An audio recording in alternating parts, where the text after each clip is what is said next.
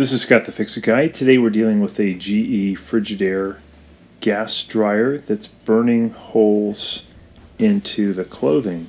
And this is due to the front felt bearing being worn out. It creates a gap at the top of the dryer tumbler and it grabs the clothes and kind of burns them up and puts holes in them.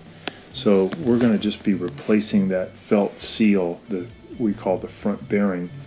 So we got it turned off. We're going to unplug this modular connector and then we're going to need to remove two Phillips head screws from the front panel and then we can just take the front panel off. So just two Phillips head screws. They're located about four inches down in the upper front and upper left hand corner. If the screw drops, it's okay because you can get it once you open up the front panel. So once these screws are out, you just want to grab the panel securely at the top and pull it towards you. And it'll come out at about a 45 degree angle. Then you can lift it up to get it off of its clips at the bottom. And this panel is where the front bearing lives.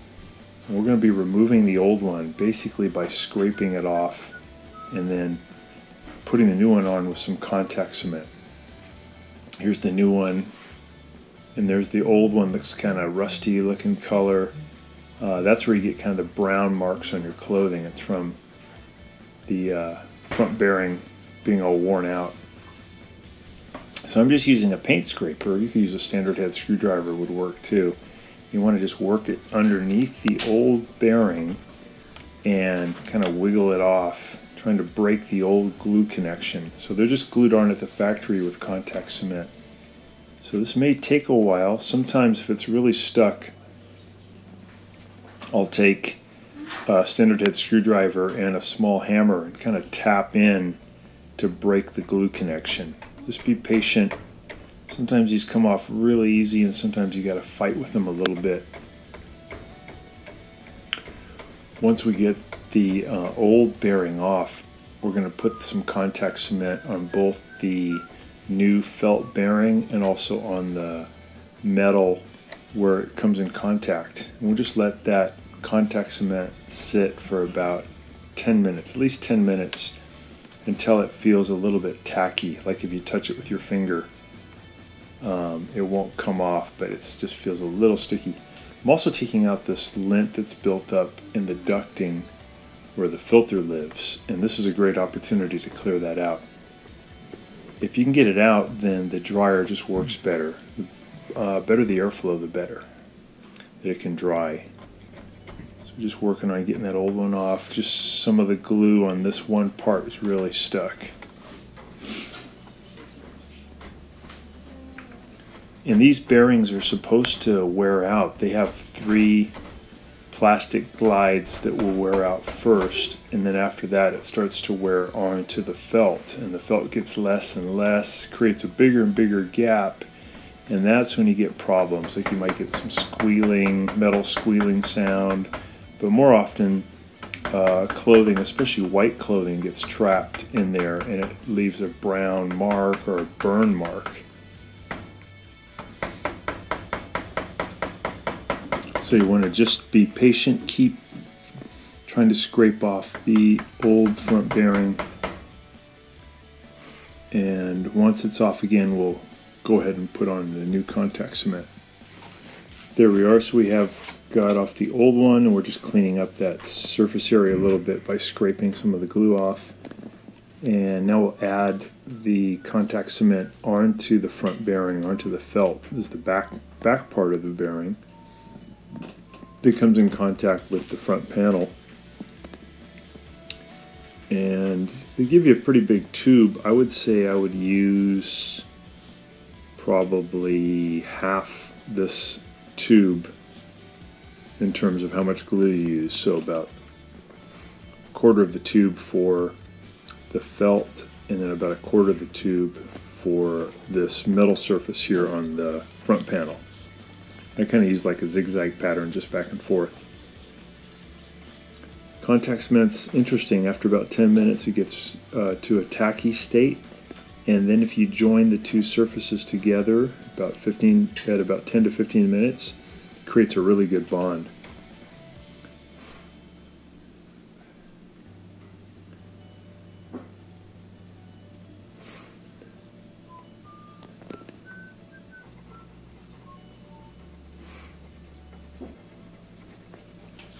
We're just kind of spreading it around.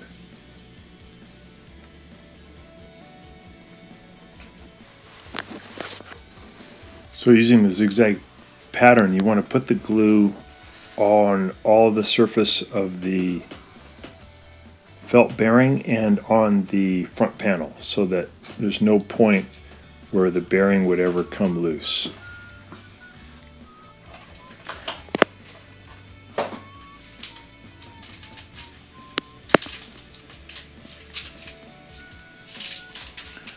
So we're just going to let that dry for about 10 minutes, maybe 15 minutes again, just till it's tacky. I'm going to clean this little moisture sensor while I have this out. You can use some alcohol uh, or abrasion, and that just gets off any kind of waxy buildup from like dryer sheets so the dryer can tell better uh, how dry the clothes are getting. Here's the old felt front bearing you can tell is pretty skinny, pretty wiped out, and that was leaving a gap. That's where the clothes were getting caught. So now to put the new one on, we got to make sure the long end of these glides is pointing away from you, pointing toward the very front of the dryer. And the short part of these glides that doesn't hang over that points toward the back of the dryer. We're going to push this front bearing into position and hold it down, especially on the, the two ends in the middle for four or five minutes to make sure it's really locked in. Again, the contact cement's pretty good. If you've let it dry on both surfaces for 10 to 15 minutes, it should, should have a good strong uh, bind.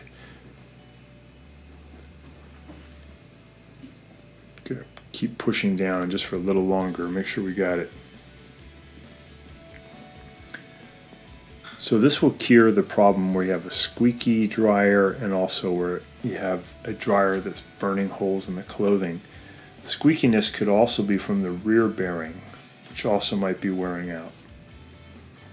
So we're going to put the front panel back on. We put it down on the two little clips in the front and then we're going to tilt it in toward the back of the dryer. We're going to feed this modular connector back through and we're going to lift up on the tumbler a little bit so that it can ride back up on the new front bearing.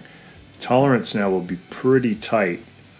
Be careful when you're doing this that as you push the panel on it doesn't shove the new bearing away toward you. Make sure you're lifting up on the tumbler so the tumbler can now rest down on top of that new front bearing. And once you got it, push the front panel all the way in to where it clicks. I'm going to turn it a little bit here just manually to make sure that it's really uh, riding on that front bearing really well. If you notice that that front bearing has slipped towards you a little bit, it's okay you can just pull the front panel back off. You can lift the bearing off and let the glue dry a little longer and then put it back. Could be that the glue just isn't quite dry yet. So this seems good. It's spinning really well. And the tolerances are very tight. No more, there's no more gap that's going to burn up the clothes. So we're going to hook the modular connector back. And we want to put a little zip tie on that to hold it in position too. We're going to put the two Phillips head screws in that, that secure the front panel. Probably good to do that by hand first to get it started and then drive it in with a screwdriver or with your power driver.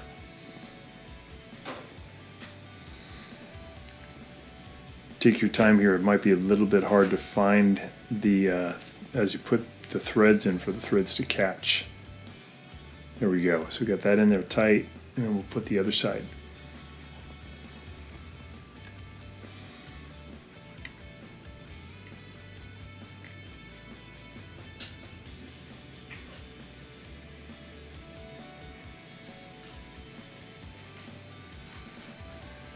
Reconnect the modular connector.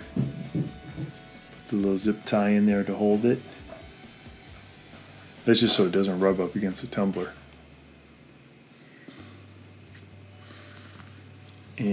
Get it plugged back in and just give it a little test while we have the uh, top still um, up so we can observe the tumbler spinning.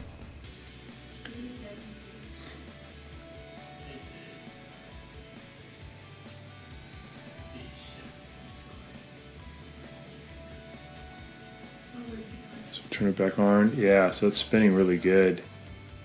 Nice and smooth and no more excessive gap.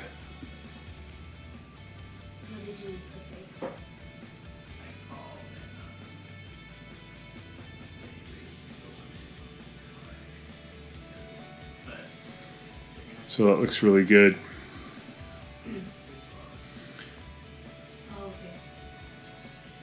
While it's testing, I'm just going to go out real quick and check the volume of air coming out of the vent tube. Should feel like a hair dryer. Yeah, that's nice and strong, so it's not any lint really clogging that. That's great. Put the top back down, and those two clips, just push it down to lock, and you are all done. You're going to have a dryer that's going to be non-squeaky and won't burn holes. Might get another 10 years. So thanks so much for watching and please subscribe to our channel when you get a chance.